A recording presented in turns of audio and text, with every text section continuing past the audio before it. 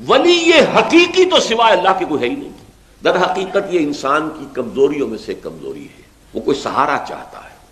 इस दुनिया में बहुत से एतबार से इंसान समझता है कि मेरे खिलाफ बहुत सी फोर्सेस हैं फ़िज़िकल हैं या और हैं और फिर कंपटीशन है, मैदान के अंदर मुकाबला है तरह तरह के खतरात हैं, अंदेशे हैं। कोई सहारा? ये सहारा जो है इंसान, ये कोई मबूदों की शक्ल में इख्तियार किया या कहीं दुनियावी तौर पर मादी एतबार से। देहात में बड़े चौधरी का कुर्ब अगर होगा तो ज़ाहिर बात है कि तो आदमी जो है वो पनाह में रहेगा। तो कोई ना कोई सहारा, ये इंसान की एक नफसियाती ज़रूरत है। ये वजह है कि इंसान जो है अल्लाह के सिवा किसी और को अपना वली बनाता है।